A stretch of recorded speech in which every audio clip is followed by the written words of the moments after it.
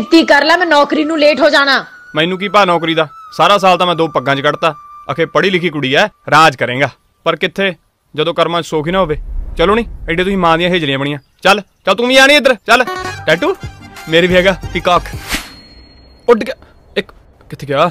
ਇੱਕ ਆ ਹੈਗਾ ਯੈਸ ਮੈਨੂੰ ਤਾਂ 2 ਸਾਲ ਹੋ ਗਏ ਤੁਹਾਨੂੰ ਕਹਿੰਦੇ ਨੂੰ ਮੈਨੂੰ ਚੰਡੀਗੜ੍ਹ ਭੇਜ ਦਿਓ ਮੈਨੂੰ ਚੰਡੀਗੜ੍ਹ ਭੇਜ ਦਿਓ ਲੰਡਨ ਨਾ ਭੇਜ ਦਿਆ ਤੈਨੂੰ। ਕਲਚਰ ਮਾਲ ਦੇਖ ਕਿਵੇਂ ਲਾਇਆ ਜਿਵੇਂ ਡੀਸੀ ਲੱਗਿਆ ਹੋਵੇ। ਨੀਲੀ ਪੱਗ ਬੰਨੇ ਫੋਰਡ ਲੱਗਦਾ ਹਰੀ ਪੱਗ ਬੰਨੇ ਲੱਗੇ ਜੌਨ ਡੀਅਰ ਵਰਗਾ ਵੀ ਮੈਂ ਜੱਟ ਦੀ ਜ਼ਮੀਨ ਵਰਗੀ ਮੇਰਾ ਟਰੈਕਟਰ ਬਿਨਾ ਨਹੀਂ ਹੋ ਸਰਦਾ ਬਿਲਕੁਲ ਗਾਲਿਬ ਸਾਹਿਬ ਵਾਂਗੂ ਤਾਰੀਫ ਕਰਦੇ ਤੂੰ ਬਹੁਤ ਅੱਛਾ ਸ਼ੇਰ ਸੀ ਬਹੁਤ ਅੱਛਾ ਸ਼ੇਰ ਸੀ नए आए हो कॉलोनी में ਪੜ੍ਹਨਾ ਆ ਕਿਉਂ हमें तो लग रहा है पढ़ाने आए हो। ਕੀ ਲਿਖਿਆ ਸੀ ਤੂੰ ਕਿਉਂ ਪੜ੍ਹੇ ਨੀ ਤੂੰ ਬੈਂਟੀ ਪਾਪਾ ਨੂੰ ਚਿੱਠੀ ਦੇ ਕੇ ਗਿਆ ਬਾਨੀ ਥੱਲੇ ਭੱਜ ਜਾ ਤੇਰਾ ਬਾਪੂ ਆ ਜਾਊਗਾ ਉਹ ਥਾਣੇ ਗਿਆ ਰ- ਰਿਪੋਰਟਰ ਕੌਣ ਡਿਊਟੀ ਤੇ ਹਾਏ ਬਾਨੀ ਤੇਰਾ ਬੜਾ ਮੇਰੇ ਤੇ ਭੁੱਕੀ ਦਾ ਕੇਸ ਤਾਂ ਨਹੀਂ ਪਾਊਗਾ ਅੱਜ ਕੀ ਸ਼ੁਰੂ ਹੋ ਗਈ ਜੀ ਕਰੋ ਕਰੋ ਉਹ ਮੈਂ ਵੀ ਬਹੁਤ ਕੀਤੀ ਆ ਐਵੇਂ ਨਹੀਂ ਰੜੀਆਂ ਲੱਗੀਆਂ। ਗਲੂਕੋਜ਼। ਪਰ ਨੂੰ ਕੁਝ ਨਹੀਂ ਹੁੰਦਾ।